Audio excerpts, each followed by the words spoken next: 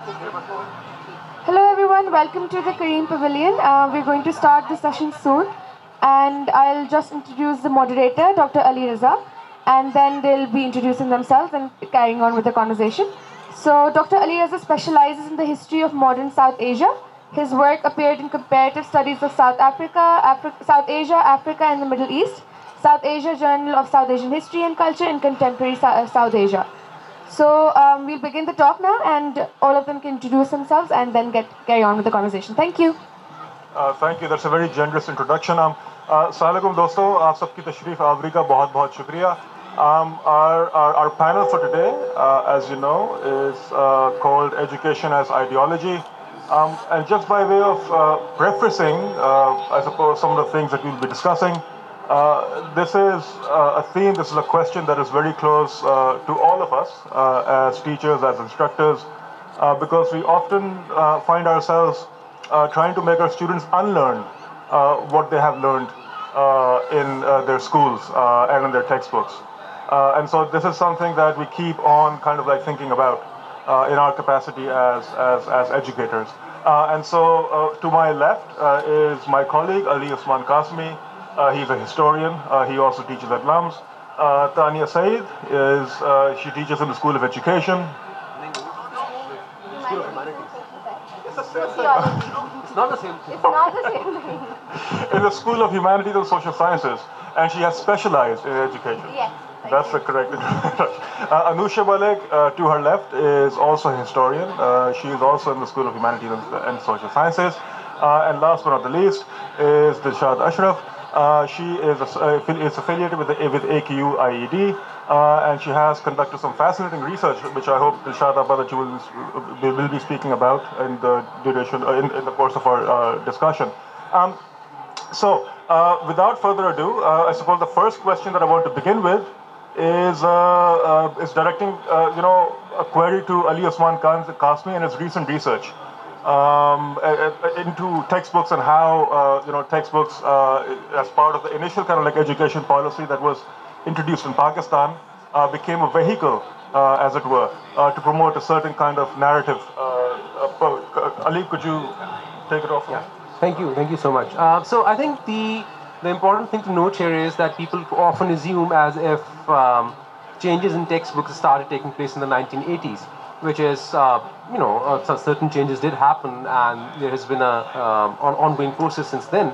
But whatever gets incorporated in these textbooks and which is projected as an ideology, it also has a prehistory, which in some ways dates back to the late 19th, early 20th century, which is the formative period of Muslim nationalism and a certain kind of an imagination of the Muslim community in India and uh, a projection of its past uh, and connection that it tries to make with, with, with Mughal India and the search for a sovereign subject uh, in South Asia, specifically in the context of uh, British colonialism. Um, so there is a great deal of fascination with the, the figure of Aurangzeb, for example, uh, focus on the exclusivity of Muslim community in South Asia, um, and a general kind of a suspicion towards Akbar as that figure which, uh, whose policies tried to you know, dissolve this kind of, of bonds, um, um, you know, separate uh, entities between the Hindu and the Muslim community in South Asia.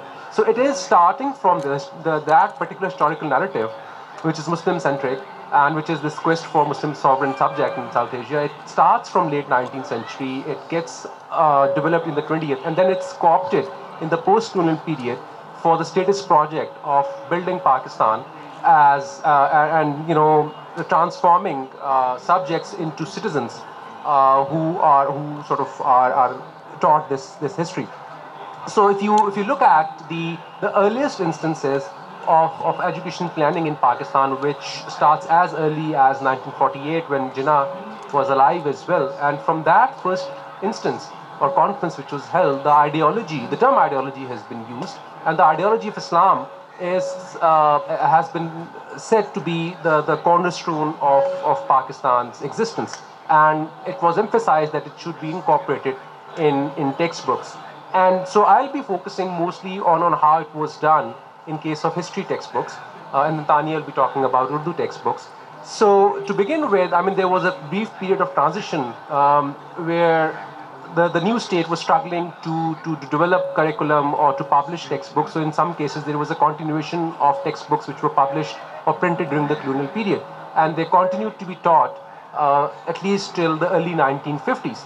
And, uh, and then by then there were a group of Pakistani historians who came together and they developed a textbook sponsored by the government of Pakistan. And it was called, I think, A History of uh, Hind Pakistan. And eventually, the, the, the, the fundamental problem was that, you know, the, the imagination of Pakistan as, as, a, on, as based on Muslim nationalism, uh, but that imagination of Muslim nationalism was largely based, or had, had its center or its roots in the cultural historical traditions of North India, a region which had to be abandoned, sorry, which had to be abandoned for the establishment of the new sovereign state of, of Pakistan. So there was a clear dis, uh, disconnect between the new territorial boundaries of Pakistan and the, the cultural imagination which provided the basis for that nationalism to emerge in the first place. So how to scale that circle in a way. Um, so in the 1960s then, there was uh, a government body which was set up, which was uh, headed by I.H. Qureshi, who was one of the, the major historians of Muslim South Asia, and joined by a number of other historians as well.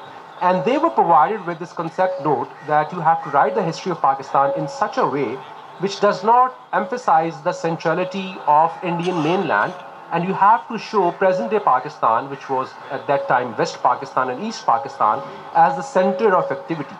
So, whatever movement in history is happening, according to that document, that movement was happening from uh, northwest towards central India, uh, towards North India, and that movement was always that of a militaristic kind, of annexing India, of capturing India, and producing that India as a kind of a military conquest of Muslim invading armies, and in some cases, in the pre-Muslim past uh, as well.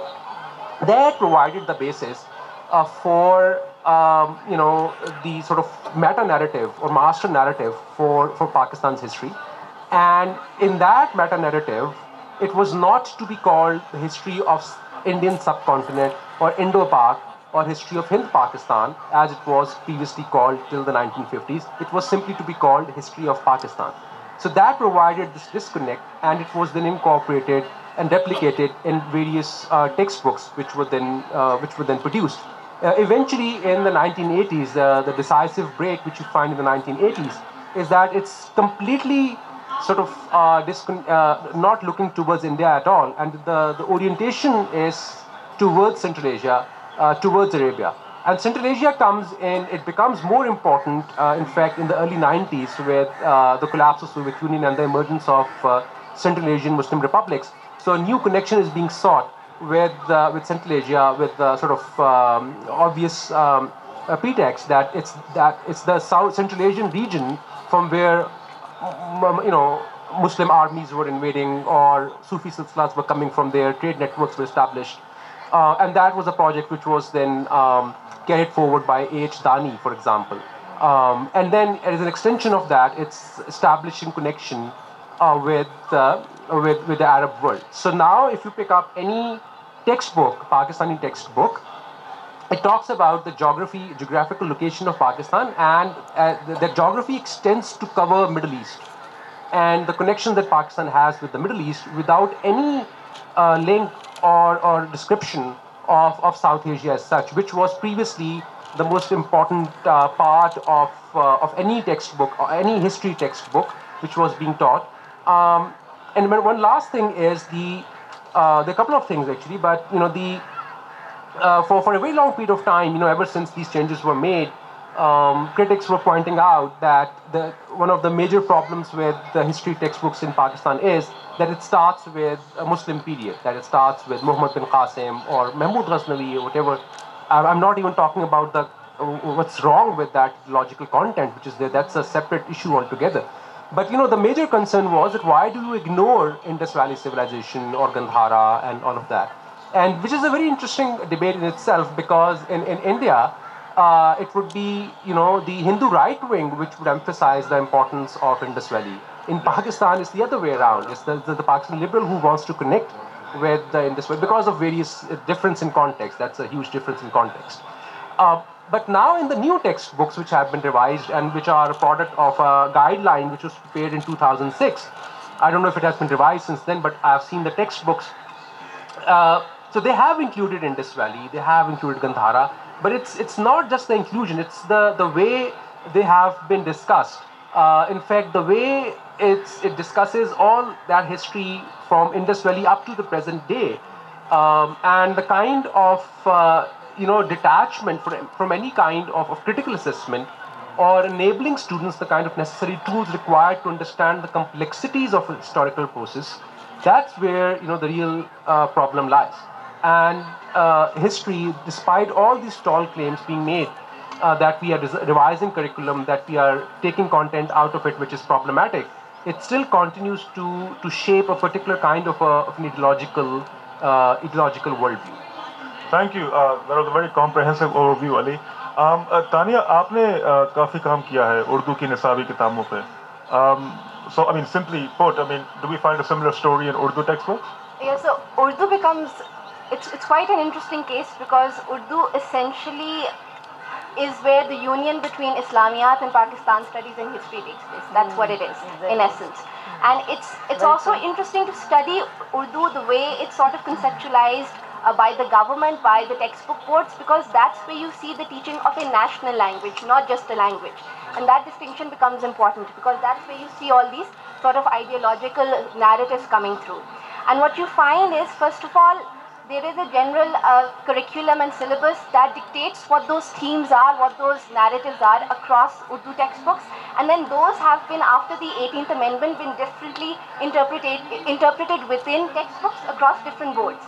And, and what in my work, what I found is Punjab, which is not surprising, is obviously taking the lead in reforms. Some of them have been positive, but a lot of them have actually reinforced a more conservative ideology, which you don't find in uh, the uh, in books produced by other text uh, other textbook boards.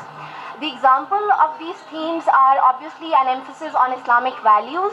Now, with Islamic values, normally you're given a structure, like your Urdu textbook has a particular structure. There has to be a hamd, a poem in praise of God. There has to be a naat, a poem in praise of the Prophet. There has to be narratives about figures of, of Islam. There has to be narratives about figures of uh, Pakistan and nationalism and all of that but the extent to which you see a normalization of you know uh, this whole idea of islamic values can be see, seen in a very basic example जो 2017 to 18 की किताबें थी उसमें जब मुजक्कर मुअन्नस की बात करते हैं they go directly to it right grammar 2018 to 19 में एक उन्होंने सेंटेंस ऐड किया है कि अल्लाह ताला ने जोड़ियाँ बनाई हैं और वो होती है मुजक्कर और मुअन्नस So you see the extent to which there is a normalization of Islamic values in each and everything you read. And this is your Urdu textbook. There's obviously an emphasis, and we can go on. I mean, there's so many other examples. But this is and this was Punjab textbook board, and you see this more uh, with with their books. Then around uh, when it comes to this idea of patriotism and a very uncritical ideal of patriotism. Now इसकी अक्सर argument आती है तो क्या हुआ आप you know आपने वतन से मोहब्बत करनी है कोई ऐसी क्या बात होगी मसला ये it's so uncritical that at grade one you limit the imagination of a child to certain roles. Again, an example of a grade one textbook from the Punjab textbook board is this narrative जिसमें वो बच्चे से पूछते हैं आप बड़े होकर अपने मुल्क के लिए क्या करोगे पाकिस्तान के लिए क्या करोगे वो ये नहीं पूछते आप बड़े होकर क्या करना चाहते हो and then this a narrative कि एक लड़का कहता है, मैं बड़े होकर फौज को ज्वाइन करूँगा सोल्जर बनूँगा. एक बच्ची कहती है, मैंने डॉक्टर बनना है. एक एक बच्चा कहता है, मैंने किसान बनना है. और जो चौथी बच्ची कहती है कि I will be a teacher so if you think about it all that's required in sustaining the nation state in sustaining the concept of nationalism is right there so from a very young age your sort of you know it's prescriptive idea of what it means to be a citizen also comes in citizen में भी mind you जो narrative हमारी Urdu text books में है it's all about your duty to the state it's never about the state's responsibility towards you सफ़ाई की भी बात होती है तो आप एक अच्छे सिटीज़न हो। आप ये नहीं सोचते कि अच्छा इसमें स्टेट कहाँ आता है?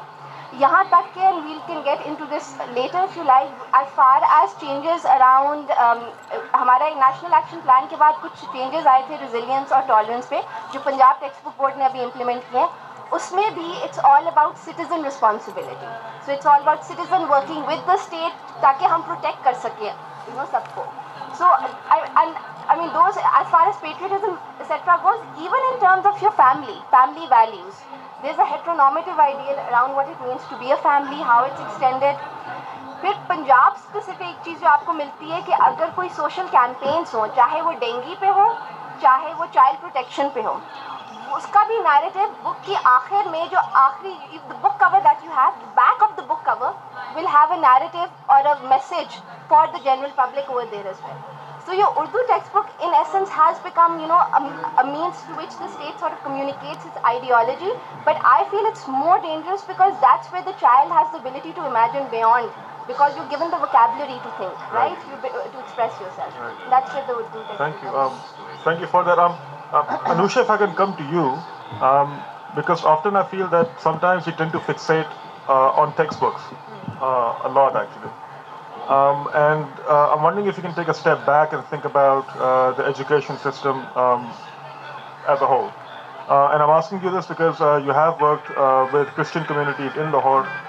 Um, I mean, tell us what that problem is. I mean, um, so actually, that's exactly what I'd be interested in talking about. That um, so I've spent um, a year, most of 2017, gathering oral histories of Christians in Lahore uh, mainly focusing in Youhanabad. And for me at that point, education was kind of tangential to the larger project, which was supposed to be about political exclusion. But it turns out that access to education is very difficult in ways that are ideologically connected, but also not. Let me explain what I mean. So, as a historian, obviously, I will start with the past. And so, if you think about the ideology and the dominant narrative that we've heard of from Qasmi and from uh, Tania, what we've heard is that there is a dominant narrative that is exclusionary, but that um, I want to say has also very direct, real social effects um, in how it is that people feel Pakistani in their everyday lives. Um, and I think that that story really starts with how we understand ideology. Uh, there is not one state ideology that exists that we can reach out and touch and say, this is Pakistani. There were variations of it, we chose one. You know, the oft quoted uh, Constituent Assembly speech that Quaid-e-Azam made, right, saying that you are free to go to your temples, etc. There are many other counters that we could use to say that no, actually, while he said that at that point in time, Pakistan was meant to be an Islamic state. The point is, we chose one, right, and that is the one that's captured within our textbooks. And I think it comes out. The choice was made very early, and I think um, uh, this quote that I wanted to read out to you guys, which is from uh, Maulana Muhammad Akram Khan in 1948 when they're discussing the issue of minority representation um, on the Advisory Board of Education. And he said, and he's talking about at that point in time, all the minority groups, including the Diwan Bahadur SP Singha, who was a Christian representative, who were saying that we want to be part of Pakistan as well and part of this narrative as well, because we feel that we have more in common with the Muslims than we do with non Muslims, broadly speaking, in India. And he said, it has been said that the division of India took place on the basis of majority and minority. I oppose this view. The Muslims have never accepted themselves to be in the position of a minority. The division took place on the basis of two nation theory and on the basis of two majorities. Now, it's not just what he's saying, it's the context in which they're saying that there needs to be more minority representation on the Advisory Board of Education. And so he's saying that you cannot say that the position of these religious minorities can be compared in any way to the narrative of Muslims and their position as superior citizens within the Pakistani state. Um, and I think this is something that I felt, at least the Christian community very strongly felt, especially when they were talking about access to education. So I'm going to tell you four little snippets, two of which you can predict on the basis of there being religious minorities, but two of which come from their class position and still affect, nonetheless, uh, their access to education. Um, one story that was told, and there were variations of it repeated, was of um, uh, an individual who was actually quite powerful in the sense that he was an advocate. And he said that his daughter was not getting admitted into uh, their local school. And so he went and he spoke to uh, the principal in charge and he said, Why aren't you admitting? He knew, of course, why she wasn't being admitted. He said, Why aren't you admitting her? And uh, the teacher said, No, no, I, she can come. It's just the, the classes are too full. And he laughed. He said, aren't we all Pakistani first? And he says the teacher laughed and said, well, of course she can come in. We are all Pakistani first. I don't think the truth of it is what I'm trying to highlight here. It's the fact that you can make claims on the basis of multiple identities, but your ability to do so is closed down by what the curricula and what is allowed within those educational institutions. Um, and a second comparable story to this is uh, whenever we asked about discrimination within the context of schools, we actually got an overwhelming response that there isn't much, right? And maybe that was part of a performance, or, or maybe they don't feel it on an everyday basis. But one of the examples that came from a pastor uh, who's very prominent within Lahore was that even when there isn't outright discrimination, the curricula within the textbook, the environment within the classroom is very much that it would be better if you were Muslim. And this can be seen even in the reformed version of the textbooks that under Pervez Musharraf start off with Musharraf's speech saying, uh, speech, the, it starts off with a little excerpt that Musharraf inserted into the beginning of the textbook, which talks about how um, Pakistan is essentially for Muslims. And Christians pointed out, pointed this out and said, if you're saying it's essentially for Muslims, how can you even include us as equals? At the beginning of the conversation, we are excluded in the same way that at the beginning of the National Assembly debates, they were put on a different platform altogether. The other two, which I think are in a way more interesting because there's things that we need to be thinking about. The other two examples, one of which comes from a union councillor within Youhanabad who talked about um, uh, access to education in terms of the problems that kids have with getting uh, birth certificates. And they said that because we're poorer, uh, when it comes to prioritizing the issuing of birth certificates and identity cards, that ends up being a problem within Youhanabad. They keep telling us that the software has to be updated and various delays, etc., as a result of which our children's admission to schools ends up being delayed. Now, we don't think about that, but if that's a problem within this context, the union counselor is highlighting it as one of the things he wants us to raise, then it is very much about access to education in terms of class. And the second, which is perhaps most interesting, segues back into the curriculum, is with regards to what do you study if you don't study Islamiyat? And uh, um, one of the things that, uh, that was discussed again and again was the curriculum of the subjects they are allowed, which are ethics and civics. Um, civics is the one that was talked about uh, most by my respondents. And they said that uh, civics, there are two problems with it. One is that once you pick civics, you're highlighted as a minority, and that means that all the research that goes into showing how teachers treat minorities differently comes into play at that point when you choose to opt out of studying Islamic studies. And the second aspect, which I found even more interesting, is they said because the civics exam is not made in a more standardized way, I don't know if this is true or not, I'm just quoting my respondents they said that it's a lot easier to score marks in Islamiyat. And so a lot of people end up picking Islamiyat. So I went back to the National Assembly debates. I thought, is this an older issue?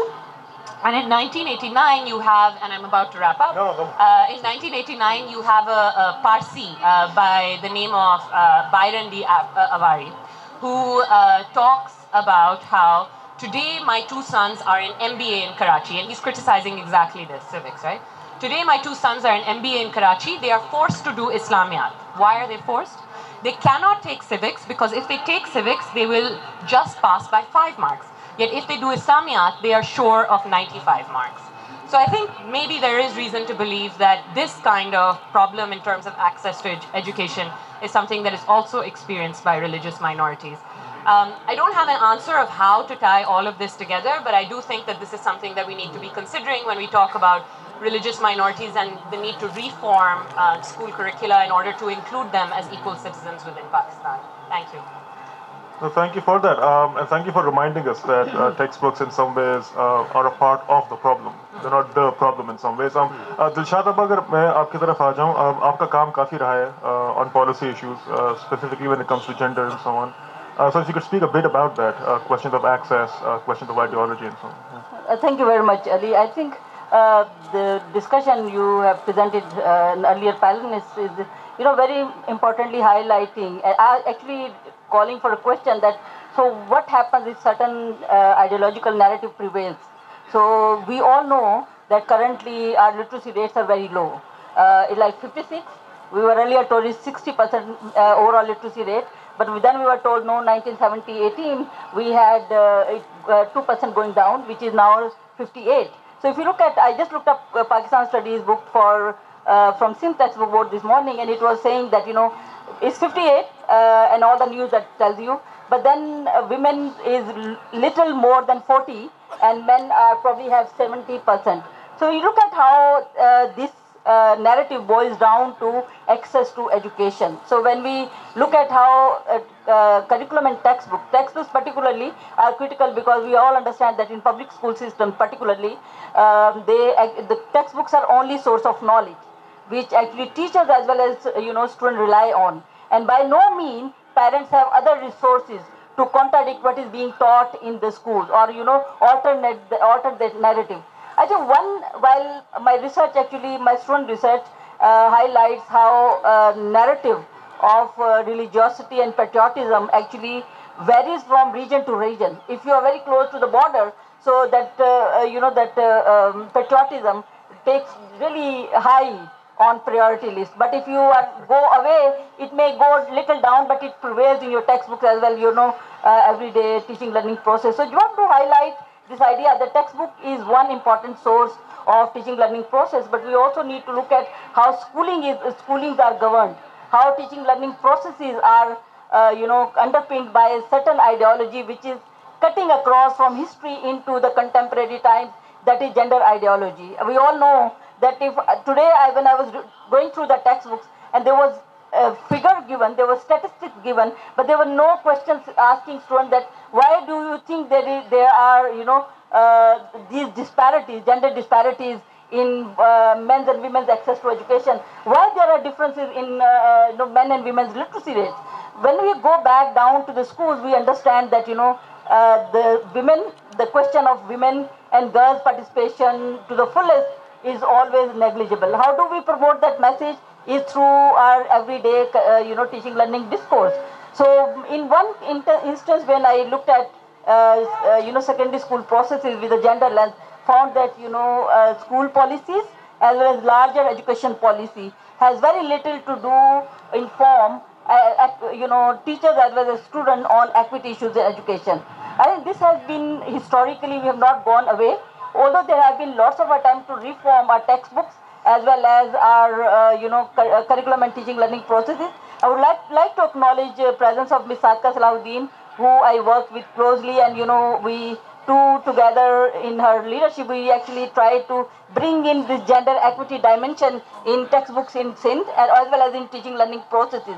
So when you look at the problem and we try to bring in solution as well. So there is a problem. We understand there is a problem Mm, uh, women are completely absent in uh, your teaching learning processes.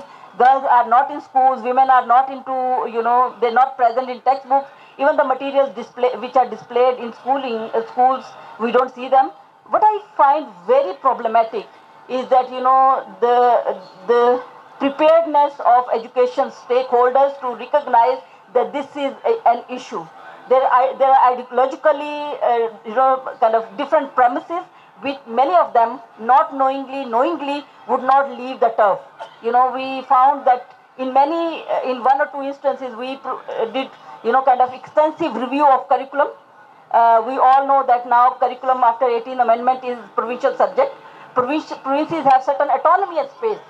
And if they use it this is their space where they can bring in correct the narrative you know, bring in more uh, uh, citizens' perspective, bring in more equity perspective. But we understand that you know it is very difficult to convince that person in a, a textbook board that there is a problem. So our uh, lots of efforts those go vain because people, the person who is in the junior in the textbook board or the uh, curriculum wing is not ready to, is not convinced that there is an issue. So how do you bring that change? You know, and we all understand that Pakistan, uh, all provinces, including Gilgit-Baltistan, have uh, were supported by international community to develop their education sector plans. And these education sector plans from 2014 to 18 were supposed to have really addressed the gender equity issues in education. But we understand that, you know, after four, or five years work, we still are at the same point. Very, very little has been gained uh, in terms of bringing more women's visibility in textbooks, uh, looking at curriculum with uh, gender lens, and also improving teaching learning processes in the in, in the in the province here. I will not speak about Punjab, but my experience is within Punjab. To understand that there has been the narrative. How do you change the narrative? I think that is the question that I would like to pose for ourselves. Is that what what what does it take for somebody to uh, shift that position? And I understand from my work with teachers, teacher mentors in uh, rural Sindh, we, it took us four, five to six years to work with those teachers, uh, help them understand the problem, help them understand the concepts of, you know, uh, gender equity, and then understand what will take to change that concept at, at classroom level. It took us six years to change 50, if not all 140 mentors with whom uh, we work.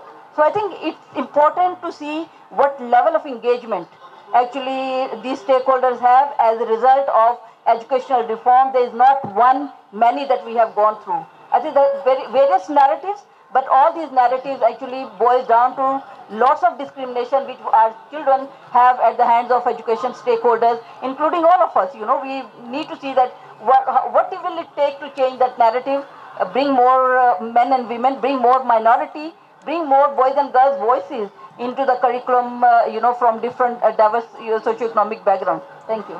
बहुत शुक्रिया आपका Anushay and Qasmi, if I can bring you both in, um, and I'm bringing you both in as historians, and I'm asking this question also as a historian. Um, and for good reasons, obviously, I mean, history um, in Pakistan especially is politically charged, it is contested, uh, it is controversial. Um, um, and, and then from my own experience, I mean, uh, मैं हम तीनों lump sum पढ़ाते हैं और uh, बेशतर बच्चे जो हमारे पास आते हैं वो प्राइवेट स्कूलों से आते हैं this is the best education that money can buy in Pakistan and even then I mean I I'm astounded at times uh, about the level of ignorance um, and basic um, lack of knowledge. I mean, Abul Kalam Azad के बारे में बात करना वो तो चले और बात जवाहरलाल नेहरू के बारे में बात करना I mean it's it is astonishing just to know और just to find out actually you know the kind of books and these are not the official textbooks yeah. but the kind of books that are being taught even in private schools i mean just how silent they are mm. uh, about you know these very important figures uh, of in some ways uh, you know the entire history of a subcontinent um, so, i mean if you could speak about a, a bit about you know that experience and, and what it, what it's like to actually not just teach history, but also be a historian in Pakistan. Mm. Uh, you're always up against it in some ways. Uh, um, I think uh, I always say this: that people, I think students know about uh, Bhagat Singh only because of Rang De Basanti. Yeah. Uh, uh, that's the, that's the only thing that they know about him. Um, and it's also because I mean, if you, I, I just wanted to read out this this national curriculum for Pakistan Studies, grades 9, 10, 2006, and it starts with. Um, you know, it will help answer your question. Okay, broadly speaking, the curriculum of Pakistan Studies is designed to, the first item is inculcate a sense of gratitude to Almighty Allah mm. for blessing us with an independent and sovereign state. You know, so that's the if that's going to be the purpose, and so how it's going to to help the, uh, uh, fulfill the third purpose, which is encourage states of observation, creativity, analysis, and reflection in students.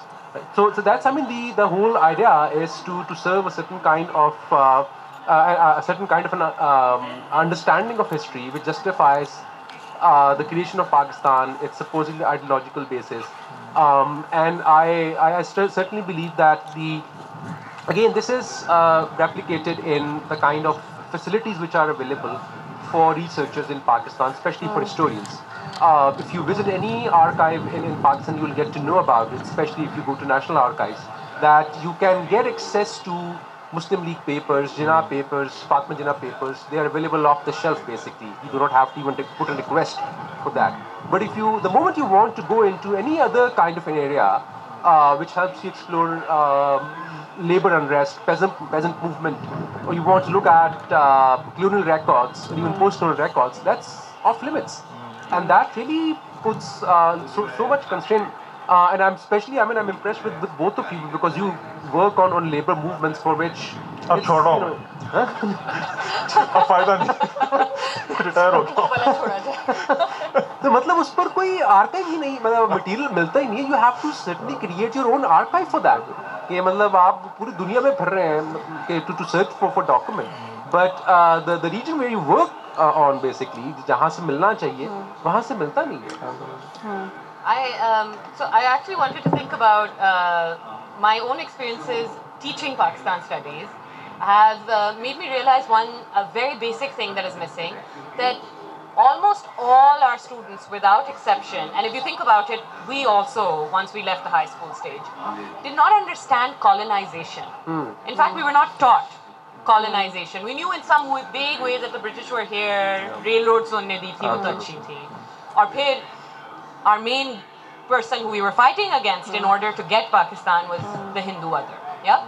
And so I think that affects the way that history was written to quite an extent. This whole, uh, because if you look back, and that I think as a historian, when we look back at those sources, it's so difficult to understand what they were thinking because there was still a residual um, discussion, at least in the late 40s, early 50s, about how maybe all of us nations are together. You know, the same kind of thing that came out of Bandung and the Tricontinental, that maybe all of us can come together for freedom. That keeps falling by the wayside, and I think this narrative that colonization doesn't matter, the fact that we were under foreign rule doesn't matter, what matters is the problem that we have with India and the Hindu other. And that, I think, ends up defining the discourse in our textbooks and in Pakistan studies to such an extent that it limits critical thinking about anything else. Um, Just just one sentence, K. So our narrative is basically anti-Hindu. It's not anti-colonial at all. yeah. No, I think, please, I can just add, I think this uh, you raise very important question how in, well informed our students are today, and I think whether the his, the historical discourse, which is actually diversity, and I do uh, think that if they, that diversity, the history in terms of diverse, you know, the, the, its own diversity, if it brought back to our educational discussion, probably they'll be more informed about contemporary issues they're facing. For instance, I was in the at Gaudiin other day, and I uh, two weeks back, and I asked them, "Do you?" Uh, there was a group of um, uh, students who were studying um, different fields in medical profession, and I asked them, "Do you know if there are 23 million children in Pakistan out of school?" They said, "No, we do, we have no idea." So you know, I think that our student ability to think critically about who we were as larger social group, and also who we are as diverse group, and I think uh, it just takes little critical thinking, uh, you know, to understand. And that happens only when schooling processes are actually education processes, resources actually inculcate that critical thinking. You know, ask them to ask questions. You know, I think these are so fundamental from you know uh, low, kind of early years to the to the tertiary education. And unfortunately, there's lots of you know kind of uh, ratification of the content, which is uh, you know kind of uh, thrown at students and no question, uh, you know, asked for what is happening to them in past, what happened to them and what is happening today, how they are concerned citizens in this context. Achha, on that, Achha, Tania, please. I just wanted to add, you uh, know, because I've taught Pakistan studies and उसमें it's very interesting because जो हमारे role models भी जो examples जो आपको मिलते हैं, जो people you look up to, whether they're figures of history, most of them are linked to the military or to some form of violence as well. So an example of this was very clearly, and this is a class in LUMS at one point for Pakistan studies. When I asked this, when I asked them, the students, क्योंकि military की बात हो रही थी कि okay, how many of you wanted to join the military? most of them uh, would want to join the military or the Air Force. I would say 80% at some point wanted to join the Air Force. How many of you are willing to die for your country? All of them. So this idea of, and, and this is, these are students in LUMS. How many of you know of figures who were diplomats who prevented war from happening? Because mm. those should be, in my view, should be your heroes who prevented even the death of our soldiers. hardly anyone one एक Nawaz Nawaz Sharif का नाम लिया था मैं चुप so there's also ये आपके private school हो वहाँ पे भी this narrative and it doesn't just uh, textbooks are very important that's your formal sort of place where you get that um, the narrative itself but the way it's also normalized in your learning experience outside the school the fact that we have an army museum and what that means so I think it's all of that comes into the way these students are coming from even irrespective of your class background and sort of you know, privilege you have Okay, so uh, I've just been reminded that time is running out. Uh, before I come to the audience, Tania, if you could speak very briefly about what kind of challenges uh, or opportunities uh, are have been presented by devolution and the 18th Amendment. Okay, so the first thing is, I mean, every province obviously has its own uh, particular uh, uh, problems, uh, certain demands that the devolution can uh, uh, uh, accommodate in terms of uh, when a particular provincial board knows, you know, what are the problems of, of their particular provinces, they have control over the budget, etc. The problem I've encountered more obstacles right now, I have to say, because a lot of in terms of budgetary responsibility, in terms of the ability of textbook boards. Punjab is taking the lead in that because that's where you have a lot of investment taking place. Balochistan is really lagging behind because they don't have that kind of infrastructure when it comes to development of textbooks, when it comes to implementation of the curriculum. You see also in terms of an, an example of this which I find very, which I found surprising more because I, I realized this more recently. जब A P S attacks हुए थे पेशावर के उसके बाद बाद under the national action plan दिवस plan as initially mention कि resilience और टॉलरेंस पे एक नैरेटिव आना है। hmm. Punjab textbook board did develop a narrative initially it was supplementary material problematic some of those narratives because they were about वो जो एक है song about you know dying for our country हम बच्चे बहादुर बच्चे या नन्ना मुजाहिद एतजाज़ हसन पे दो narrative that were they have been incorporated in the Punjab textbooks you don't see any of that in any other textbooks and this is under the national action plan so you see sort of uh, I think it also reinforces a bit of conservatism. It also disconnects us with certain figures which are important for our history but Absolutely. are sort of, you know, taken over by or completely overlooked when it comes to more of a Punjabi dominated or a certain sort of dominated ideal of what you know our history should be. So I think wahan pe problems are. Dilshad बाबा इस बारे में कुछ कहना चाहेंगे आप? Uh, I think one thing that uh, uh, very important uh, provinces have their own uh, issues and challenges. Uh, in terms of capacity to bring that reform in, hmm. use that space which is given after 18th Amendment. I do think and that what can really help uh, to bring uh, probably expedite the reform is the collaboration between academia, uh, development organization and research organization. The capacity, I, I, I don't know exactly about Punjab, but we understand that in Sindh and other provinces, including KP, they, there's always a question about capacity. I think what is important is that the reforms have to be, you know, research based. All the reform are across the world, um, all education reforms are, uh, you know, done on the basis of informed, well-informed, good research. So I think that is where that collaboration partnership should actually flourish. I would suggest that you know uh, our education department, uh, as an education policy, should have monies available for good research, which is practical, which pragmatic, which can bring in those solutions uh, to the to the stakeholders who really are at the forefront of this educational change. Thank you. Um, so uh, I guess we can take questions on the floor. Uh, we have eminent educationists, by the way, uh, in this audience. Um, so uh, if there are any questions, comments. Uh, there, I have a comment. There seems to be a collective amnesia about East Pakistan and Bengal. And let me illustrate this. Years ago, we were interviewing lecturers, grade 17, uh, MA, masters. And my favorite question used to be Can you please name two Bengali prime ministers of Pakistan? They used to look at me strangely. So, what is this man talking about? So, we have blanked out that entire thing at all levels. So, would you like to? अब ए- एक और सवाल अगर मैं ले लूँ एक साथ if I can take like two or three questions at the same time. जी सर आपका हाथ काफी देर से उठा हुआ है अम, ये उनको दे दीजिएगा माइक प्लीज़ ये पीछे की तरफ़, ये दो जी, बिल्कुल। हाँ। थैंक यू अभी एटीन अमेंडमेंट की और एजुकेशनल रिफॉर्म की बात हुई, इसमें कहा गया कि पंजाब सबसे आगे है। अब मेरा ख्याल है कि बाकी सूबों का जो कहा गया कि जी इंफ्रास्ट्रक्चरल इशू है ये इससे ज़्यादा है जितना हम अपने आँखों से देख रहे हैं। One of the provincial higher education commission अभी रिसेंटली उन्होंने जब कैरिकुलम में इंट्रोड्यूस करने की कोशिश की they try to print the picture of minority community उनकी जो प्लेस ऑफ़ वर्शिप हैं उन uh, उनको पब्लिश करने की कोशिश की। In an attempt to tell our children that there are some other people who also go somewhere लेकिन उसको यूनानिमसली बिल्डोज किया फेडरल गवर्नमेंट ने। अ, और सेकेंडली मेरे ख्याल है पंजाब गवर्नमेंट की एडवांसमेंट की वजह से हम खुश ना हों।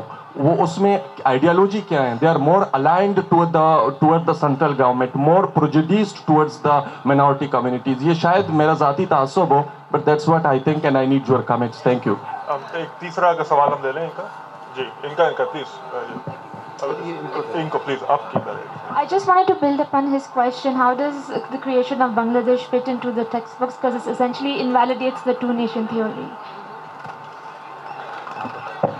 काफी नहीं वो अनुष्का हाँ वो सवाल अनुष्का उनसे भी ले लीजिएगा वो जी मैं अभी आपकी तरफ आता हूँ अभी तीन कमेंट्स और सवाल कर डिस्कस कर लें if you want to respond Anusha Okay, so um I can answer the 1971 one partially at least. Uh, because it is obviously something that we've all noticed. Um, and more than noticed, I think what comes out most, um, if you look at, again, I, I can only refer to what I've been researching most recently, which was looking at the National Assembly debate. So if you start from the very beginning and go on till the 50s, you suddenly notice bahat zada enlightened, intellectual, multidimensional yeah. debates of minorities from minorities because there were a lot of um, East Pakistani representatives, most of whom were from the scheduled caste. And those debates, and including people like Sri Dhirendranath Datta, we already know now at that point in time that Jogendra Nath Mandal was also in Pakistan at this point in time. And these groups of people, and let's remember both Datta and Mandal were invited by Quaid-e-Azam to be part of the Constituent Assembly. Um, and Datta, at that point in time, when he was talking against uh, the Objectives Resolution, for example, or against the Basic Principles Committee report, specifically said, you know, warned the Assembly about what would happen in the future as a result of them including this right now. So, in that sense, one of the things that ended up vanishing was the fact that that oppositional weight of a significant minority ended up vanishing politically, and I think that would obviously carry forward into the textbooks as well. Um, I think that what further ends up happening, I'm sure uh, Ali can talk to us in more detail about this, is that after 1971, there's more of an urge, and you see this within the works of people like Farzana Sheikh, there's more of an urge to define yourself uh, as a Muslim, pan-Islamic, uh, in outside of South Asia, more globally kind of identity, because the experiment within South Asia has failed, right? Both with regards to India and then with the formation of Bangladesh. And I think that means that you now, uh, as state officials, and I'm imagining as people who write the educational curriculum now have to rethink how can we make this more Islamic so it's a pan-Islamic identity and not a South Asian Islamic identity, uh, which I would imagine has you know very problematic repercussions. वैसे तो सवाल ये भी कि इसको theory क्यों कहते हैं? मतलब लाइक मार्क्सिस्ट थेरी या psychological theory situation theory but I think it's it's 1971 allows for a kind of revisionism and it makes things easier to ideologically imagine it as a more cohesive kind of a, of a unit as as Anushay uh, pointed out. So uh, recently um, uh, Zaid Hamid, if you have heard the name, so he's this you know. Yeah. Um, hyper Pakistani nationalist. So he once tweeted that Bangla, uh, Bengal was excess baggage, basically. And uh, so it's, it's actually good that we don't have that kind of a, of a liability. And uh, and also, if you if you read uh, how the separation of East Pakistan is described in textbooks, uh, it, it basically you know shifts the blame entirely on to, to India, to, to Hindus, to the subversive activities and uh, all of that. So there is no acknowledgement of the fact that, you know, this is a result of, of certain kind of a, you know, ideological flaw or whatever you want to, to, to call it. So, um, uh, and uh, one of the responses which comes out of 1971, as, as Ijaz Ahmed uh, would say, is that, uh, so uh, Pakistan had to be reimagined not just as, as the homeland for the, for the Muslims of South Asia, but as the homeland for the good Muslims of South Asia. And that's the, the, the added kind of piety or virtue that you find in the post 71 situation. Uh, Tania, do you want to talk about the 18th Amendment? So uh, I completely agree with you. What you're saying, it is true as far as, and hence the examples that I gave from the Punjab textbook board. It is the kind of reforms you see ideologically are more conservative compared to other provinces. I will say this though, there have been, there definitely have been improvements in the textbooks in terms of uh, of making sure that the learning content is a, is grade appropriate. So there has been you know attempts to do that, and I think in certain cases they've been quite successful. But it's also not easy to make changes to the textbook. One needs to remember that. It's easy एक दफ़ा जब कुछ निका, अगर तो कुछ निकल गया उसको it's best if you can just leave it out in the sense कि if it's anything that discriminatory but once you add it back taking it out becomes a problem and an example of this Punjab is is the fact that in 2017 के 18 की जो text books हैं they took out some material because they felt it was inappropriate for a particular grade they didn't remove it they move it they move it to another grade बाद में पता चला this was material martyrdom this was material around uh, around the construction एक एक composition एक story थी construction of a mosque. They moved it to another grade. कहीं से ये स्टोरी लीक हुई? It was all over the media the text book board was under pressure कि ये तो यू नो ये वेस्ट की तरफ़ जा रहे हैं. This is an attack on our identity to the extent कि अगली बार 2018 की टेक्स्ट बुक्स में वापस आ गई सारा material so it's I mean they definitely yes they ideologically conservative, but there have been sort of movements to improve it. But also, there are people within the textbook who are trying to make a change. It's not that simple because there's an entire sort of system around that. That's. Uh, I just want to um, just want to add, uh, you know, when you look at uh, reforms in textbooks, change of and capacity, etc. But we also need to understand that it can, if we bring those reforms, it can actually only address problem to certain extent. But if you look at what is the narrative here, is you know anybody who is not Muslim is clubbed as Ghair Muslim. So when you go to interior Sindh, this is beautiful diverse uh, region, and you go, you ask who you are, कहेंगे हम गैर मुस्लिम हैं भाई गैर मुस्लिम है are you Hindu are you Muslim um, Christian are you you know you, what what faith do you follow so the whole idea that how these minorities do not own their own identity because of their vulnerability in that context is very very important for us to understand. And just other day last week i was teaching in my mphil class and there was discussion on uh, curriculum and ideology and there was a uh, there was a reference made where in a classroom in a school uh, bacha there was from hindu bacha was asked to sit on the floor while muslim was sitting on the seat so वो discussion हुई कि भाई क्यों ऐसा होता है हमारे स्कूलों में तो फ़ौरन वो एक जो हमारा मेरा स्टूडेंट था from interior Sindh he actually immediately said कि ये इस वजह से है कि हम सब जो है वो हिंदुओं से कन्वर्ट हुए मुसलमान तो हमारे अंदर जो वो कास्ट सिस्टम है बहुत स्ट्रांग है and he did not realise that in that class we had students who followed Hindu faith. They were uh, they were Christian. They were Muslim. Only when we pointed out to him, he was good thing that he was able to extend that apology, saying that I didn't mean to hurt you, but you know how it is it is in deep rooted in our thought processes. I really think that you know it, it just is such a huge challenge that you we are actually confronting when we look at you know that ideological narratives. Where do you begin the change?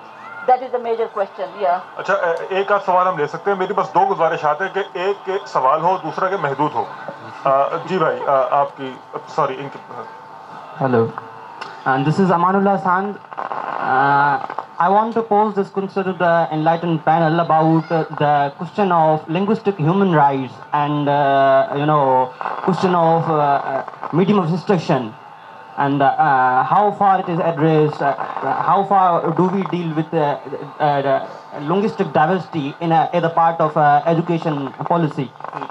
And my second question is how, to what extent we have been teaching and learning fabricated history in Pakistan studies? How do you see this question? आ, मेरे ख्याल से ये तो हमने आप, आपका सवाल कामरान अगर पूछना चाहें डू यू हैव क्वेश्चन अच्छा जी आप पूछना चाहें।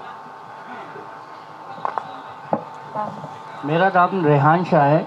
देखें यहाँ दो पार्टीशन कर दिए गए हैं तालीम के ना। एक कमर्शियल तालीम यानी उसकी वजह से जितना नुकसान हो रहा है एक मैं भी सरकारी स्कूल पीले स्कूल से पढ़ा हूँ।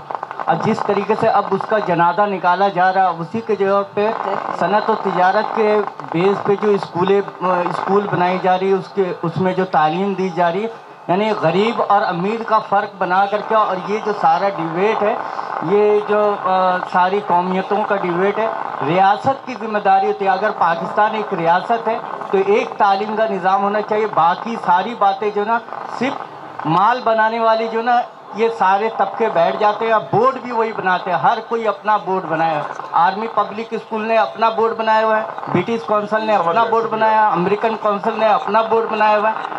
सिंधी यानी किताब बेचने वाले, उन्होंने अपना बोर्ड बनाया हुआ है। इसी तरीके से उर्दू उर्दू जो है, पाकिस्तान का कौमी ज़ुबान है।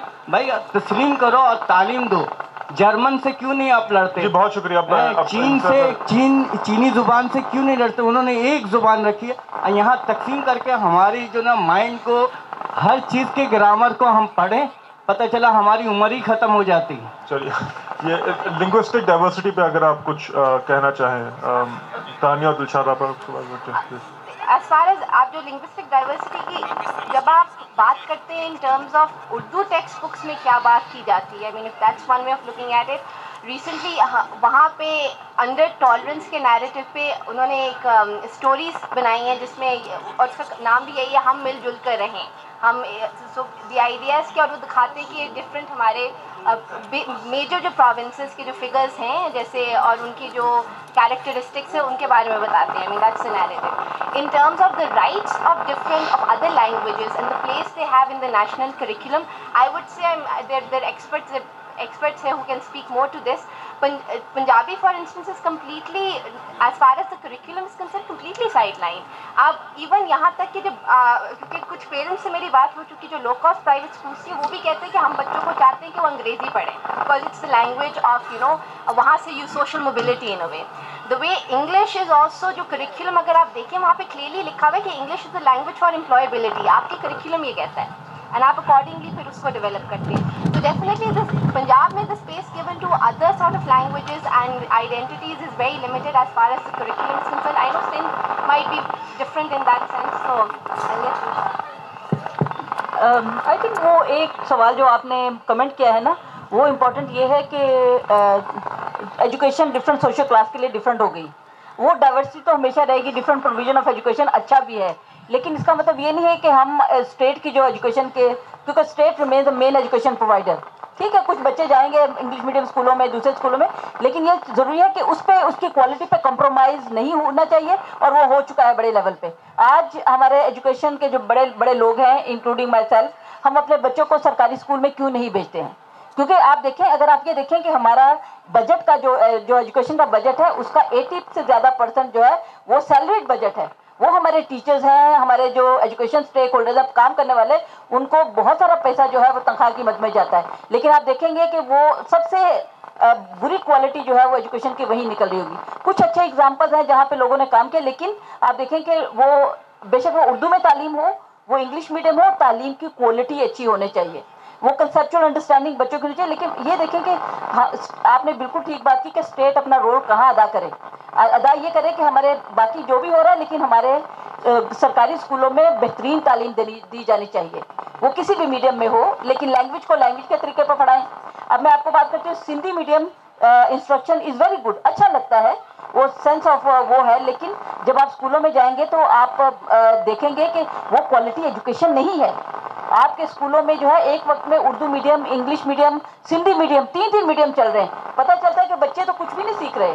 तो आई थिंक बिग इशू एक तो वो बच्चों को पढ़ाई अपनी ज़ुबान में होनी चाहिए मदर टंग में होनी चाहिए इज़ वेरी इंपॉर्टेंट डिस्कशन लेकिन वो क्वालिटी की बात जो है ना, वो बहुत इंपॉर्टेंट है। किसी भी लैंग्वेज में लैंग्वेज को लैंग्वेज के तरीके पर पढ़ाए लेकिन quality of teaching learning process तो वो it is at stake that is a major question that we आज बहुत इंपॉर्टेंट क्वेश्चन आपने किया जी Um, right, on that provocative question, uh, thank you so much everyone for coming and could you all join me in thanking our very excellent panel. Thank you so much for your contribution. Thank you to the audience.